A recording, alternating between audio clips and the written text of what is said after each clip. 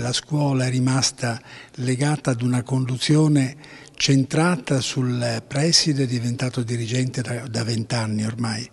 Eh, ma manca di, di figure di, di, collaborazione di figure intermedie, eh, manca di organismi snelli, a cominciare dal Consiglio di Istituto che è pletorico e, e quindi ha bisogno di un intervento modificativo massiccio.